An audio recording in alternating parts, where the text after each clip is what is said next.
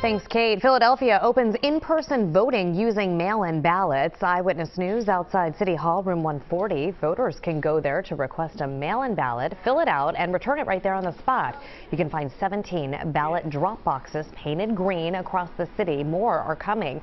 Commissioners reminded voters to write a date on the outer mailing envelope when returning mail ballots.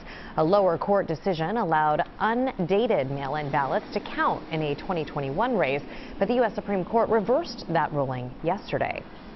The laws got changed, and it's confusing our voters because we have to change up every election. It's a shame. Uh, I don't agree with the rule, and I do, don't think that if you don't put your date there, that it invalidates your vote. Voters now have until November 8th, Election Day, to return their mail-in ballots to their county board of elections.